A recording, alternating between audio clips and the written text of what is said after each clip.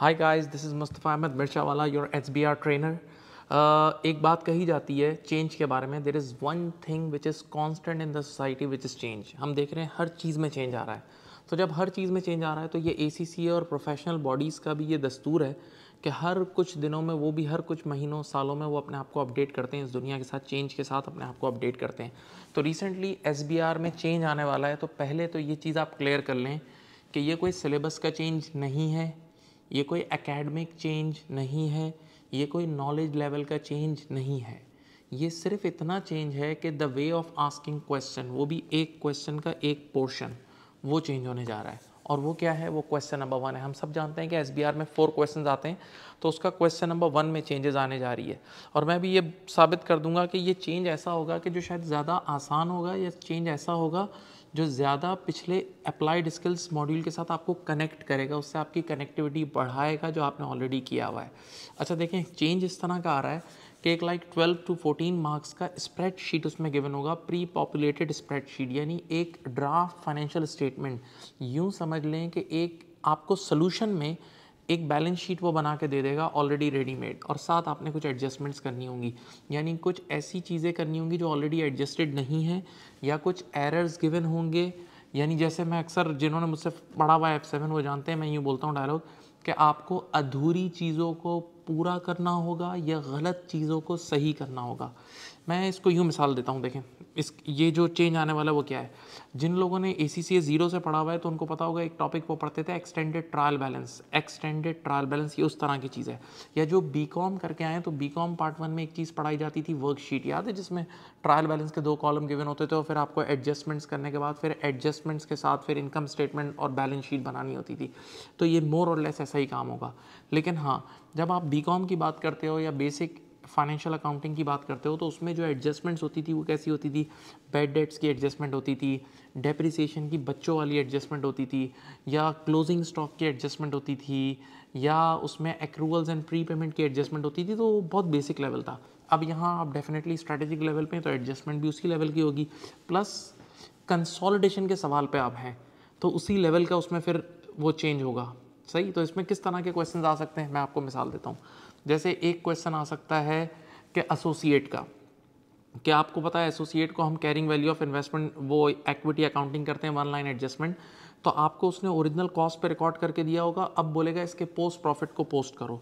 तो post profit जो होगा, वो एक एंड से एसेट साइड पे आपकी carrying value of investment and associate को बढ़ा देगा और दूसरे एंड पे वो आपके प्रॉफिट्स प्रॉफिट्स बढ़ते हैं तो रिटेन अर्निंग ऑटोमेटिकली बढ़ेगी तो दूसरे एंड पे आप रिटेन अर्निंग में उसको एडजस्ट कर लेना। फिर इसी तरह वो ऐसा सवाल भी आपसे पूछ सकता है कि पेरेंट कंपनी ने कोई डेप्रिसिएशन को ओवर चार्ज कर दिया एक्स्ट्रा चार्ज कर दिया है तो अब ज़रा दिमाग लगाएँ। जब पेरेंट कंपनी ने डेप्रिसिएशन को ओवर चार्ज कर दिया होगा तो पेरेंट कंपनी के एक्सपेंसेस बढ़ गए होंगे। एक्सपेंसेस बढ़ गए होंगे तो पेरेंट कंपनी के प्रॉफिट्स कम हो गए होंगे। और जब पेरेंट कंपनी के प्रॉफिट्स कम हुए होंगे तो पेरेंट कंपनी की रिटेन अर्निंग कम हुई होगी। तो आप एक एंड से पेरेंट कंपनी की रिटेन अर्निंग को बढ़ा देना और दूसरे एंड से आप जाके फ़ौरन से एसेट को बढ़ा देना।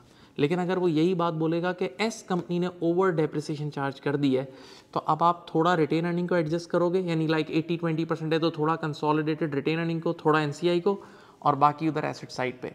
सिमिलरली वो इस तरह की चीज़ें भी आपसे पूछ सकता है। जैसे आप जिन लोगों ने एसबीआर पढ़ा हुआ है, उनको पता है कि एसोसिएट एक इदारा आपका पहले एसोसिएट था, अब वो सब्सिडरी में कन्वर्ट हो रहा है तो इसकी एडजस्टमेंट पोस्ट करके बताओ, यानी एसोसिएट को ख़त्म करके अब सब्सिडरी की दुनिया पर आ जाओ। इस तरह की चीज़ें भी वो आपसे पूछ सकता है।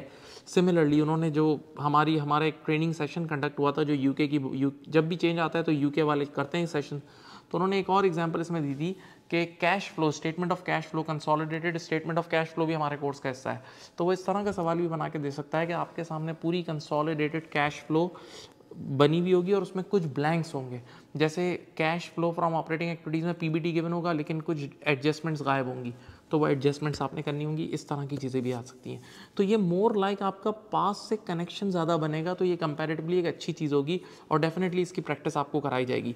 अच्छा मैं आपको थोड़ी सी हिस्ट्री भी सुनाता हूँ, क्योंकि अब मेरा एक अठारह, सत्रह, अठारह साल का तजर्बा है इस पेपर में ठीक ठाक एक दौर में इसका नाम पी टू होता था, पुराने दौर की बात कर रहा हूँ। तो उस time question number one thirty five marks का आता था और उसमें प्योर कंसोलिडेशन की फाइनेंशियल स्टेटमेंट आती थी, पूरी कैश फ्लो या पूरा पीएनएल या पूरी एसओएफपी बनाने आती थी। फिर जब 2018 में ये लोग एसबीआर पे शिफ्ट हुए तो उसमें इन्होंने एक्सट्रैक्ट्स पूछना शुरू किए और रीजनिंग के वाई एक्सप्लेन करें, ये करें, इसके पीछे क्या रीज़न है गुडविल क्यों निकल रही है फेयर वैल्यू पे क्यों रिकॉर्ड हो रहा है, इस तरह के सवाल और अब ये जो तीसरा चेंज ये लोग लेकर आए ना कंसोल्टेशन में, उसमें ये लोग फाइनेंशियल स्टेटमेंट की एडजस्टमेंट पे लेकर आए नहीं अब आपको फाइनेंशियल स्टेटमेंट ऑलरेडी गिवन होगी और आपने एडजस्ट करना होगा। तो ये ज़्यादा रियल लाइफ से बहुत क्लोज है। अच्छा मैं आपको एक चीज़ बताता हूँ, जब जब भी एसबीआर में या किसी भी पेपर में चेंज आता है तो ए सी यू भी कुछ सेशंस करवाता है टीचर्स ट्रेनिंग सेशन और इस तरह। तो इस बार जो सेशन हुआ था तो मैंने उनसे एक क्वेश्चन पूछा। मैंने कहा कि आप लोग ये चेंज क्यों लेकर आ रहे हैं एसबीआर में? तो उस ट्रेनर ने इसका जवाब ये दिया कि बोला this is more close to real life बोला रियल लाइफ में भी ऐसा ही होता है कि सारा काम तो सॉफ्टवेयर कर रहा होता है, लेकिन पीरियड के एंड पे कई बार ऐसा होता है कि कुछ अनएडजस्टेड चीज़ें रह जाती हैं जिनको एडजस्ट करना होता है, यानी कोई डेप्रिसिएशन की या कोई चेंजेस आ गई उसकी। तो बोला, यही चेंज अब हम चाहते हैं बच्चे करें। तो this is more close to real life finally मैं आपसे बोलूँगा कि हमेशा की तरह इस बार भी हम लोग ऑब्वियसली आपको इसकी डिटेल प्रैक्टिस कराएँगे। ये जितना भी चेंज है, वो ऑब्वियसली सारा आपको कराया जाएगा, तफसील से जैसे हमेशा कराया जाता है। लेकिन teaching is not a one way traffic, ये टू वे होनी चाहिए। यानी मैं यूँ चाहता हूँ कि दोनों तरफ़ से बच्चों को बच्चों की भी मेहनत हो।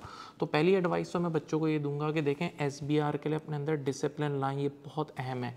और उस डिसिप्लिन में आप कोर्स टाइम पे कंप्लीट करें। देखें हम ऑलमोस्ट 99 परसेंट बच्चा जो है ना, वो ऑनलाइन स्टडी करता है रिकॉर्डेड लेक्चर से करता है, और वो ऑन डिमांड लेक्चर्स होते हैं फ्लेक्सिबल जब चाहो आप पढ़ लो। तो उसमें कई बच्चे ऐसे होते हैं जो आखिरी दो दिन पहले कोर्स कंप्लीट कर रहे होते हैं। भाई आप दो दिन पहले कोर्स कंप्लीट करोगे, एक दिन पहले, फिर तो आप घबरा ही जाओगे ना तो आप आराम से 25 डेज़ पहले कम अज़ कम कोर्स कंप्लीट करें, फिर रिवीजन डेज़ फिर मॉक ये सब चीज़ें करें और मार्किंग फैसिलिटी अवेल करें। हम हमेशा मार्किंग फैसिलिटी देते हैं, बल्कि मैं, आप मेरे स्टूडेंट से पूछ सकते हैं।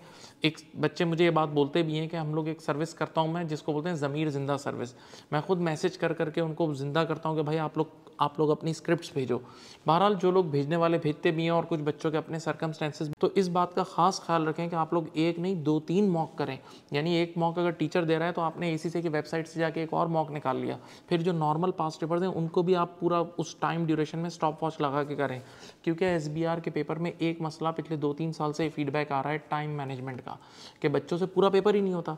अब उसकी वजह क्या है? क्योंकि उन्होंने पूरा पेपर करने की प्रैक्टिस ही नहीं की होती, एक साथ आपको करनी है प्रैक्टिस उसी पीसी पे बैठ के। तो इस चीज़ का ख्याल रखें। मैं उम्मीद करता हूँ कि आपको इस वीडियो से बहुत बेनिफिट हुआ होगा। अपना बहुत ख्याल रखिएगा। अल्लाह हाफिज़। Thank you